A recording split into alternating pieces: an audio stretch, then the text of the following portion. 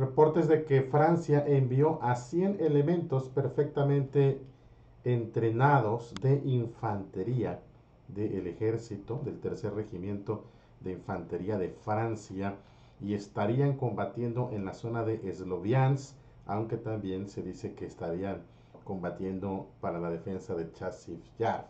Es la primera prueba que Macron está haciendo para ver cómo se encuentra el frente de batalla con miras a enviar más cientos, cientos de soldados franceses en los próximos meses. Los que han enviado son especialistas en labores de inteligencia y también en el tema de artillería, es lo que se está reportando. Por cierto, los rusos que huyeron al extranjero han empezado a regresar a su patria impulsando la economía de Rusia. Hola a todos, qué gusto saludarlos en este canal. Muchas gracias que están viendo los videos. Esperamos que hayan tenido un excelente fin de semana, que la hayan pasado bien y que ya tengan las pilas recargadas para iniciar una semana laboral.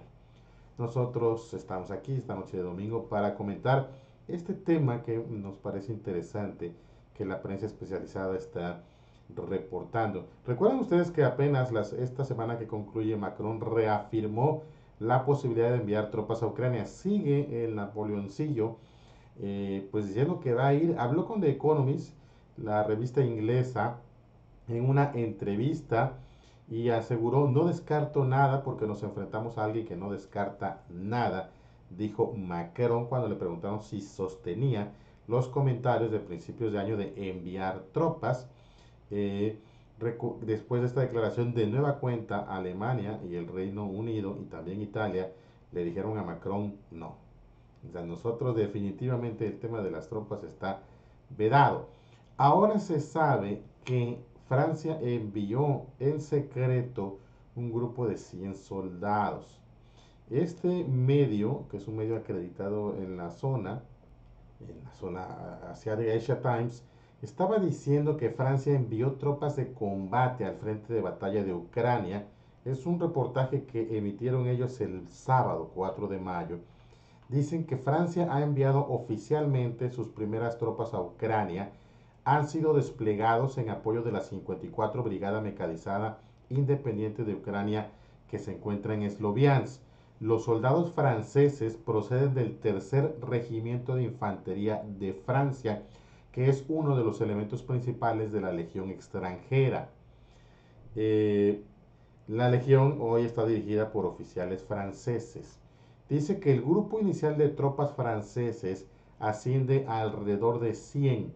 Este es solo el primer grupo de alrededor de 1.500 soldados de la Legión extranjera francesa que están programados para llegar a Ucrania. Estas tropas están estacionadas directamente en una zona de combate candente y están destinadas a ayudar a los ucranianos a resistir los avances rusos en el Donbass. Los primeros 100 son especialistas en artillería y vigilancia.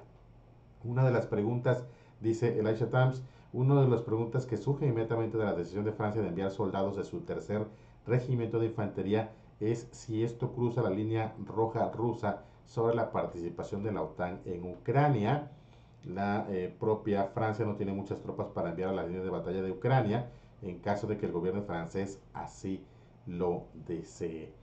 Eh, sí, son soldados perfectamente entrenados y como usted lo está eh, leyendo, son de la, del tercer regimiento de infantería y están yendo a la legión extranjera. hay quienes dicen desde luego que esto es una represalia de Macron por haber sido corrido de África y el propio Vladimir Putin lo ha dicho, me parece dijo Putin en una entrevista hace tiempo que era por esto.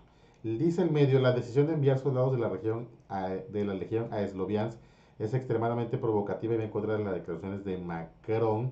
Eslovian está en primera línea de la batalla. Una pregunta clave es cómo reaccionará la OTAN ante la decisión francesa de desplegarse.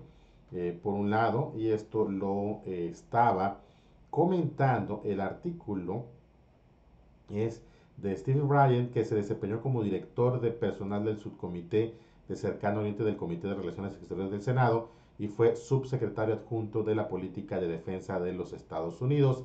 El artículo se publicó por primera vez en su staff y se publicó ahora en el Asia Times con permiso. Entonces, este ex miembro de la defensa de Estados Unidos, ex funcionario estadounidense de defensa, está diciendo, eh, reconociendo formalmente que ha sido desplegada, desplegado 100 soldados del tercer regimiento de infantería.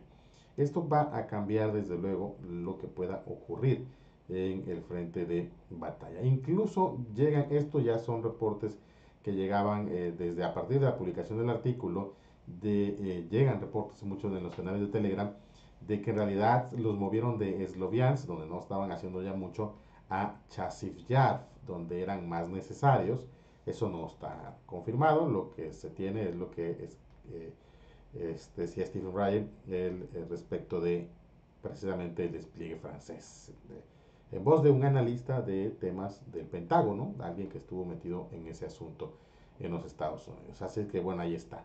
Fíjense que un tema que no quería dejar pasar es que los rusos que huyeron al extranjero están regresando a su patria y están impulsando la economía de Rusia. Hasta un millón de rusos huyeron al extranjero durante el primer año de la guerra en Ucrania. Dice Bloomberg que ahora miles de personas están regresando a sus hogares, entregando una victoria al presidente Putin y un impulso a su economía de guerra. Eh, un ex consultor político de Moscú de 50 años que se había mudado a Georgia para trabajar como empresario, le declaró a Bloomberg, el negocio no funcionó, nadie nos espera realmente en el extranjero, fue lo que dijo, o sea, desencantado, cuando se acabaron las finanzas de su negocio, decidió regresar. Él y otras personas entrevistadas por Bloomberg pidieron no revelar apellidos, pero finalmente están diciendo, ¿saben qué? Nos quieren más en nuestra patria y están regresando. Según los datos de clientes de una empresa de reubicación Finion en Moscú, se estima que entre el 40 y el 45% de los que se fueron en 2022 han regresado a Rusia, dijo el director de la empresa Vyacheslav Kartamishev. O sea, la mitad de los que se fueron y se fueron, se fueron más o menos, según el dato, un millón de rusos al extranjero. La han, la han llevado mal por allá en el extranjero hay también toda una política belicista contra todo lo que tiene que ver con Rusia. Eh, y bueno, pues es mejor en su patria. Y por lo que se desprende del artículo de Bloomberg, han sido recibidos en su patria bien, o sea, como rusos, y finalmente diciendo, ¿ves? No funcionó allá, allá no te quieren, así que acá sí te queremos. Bueno, eso es lo que se está diciendo, reflejando, y es interesante. Por eso quería comentarlo. Les mando un abrazo, un excelente inicio de semana. Gracias por estar en este canal y por ver estos videos.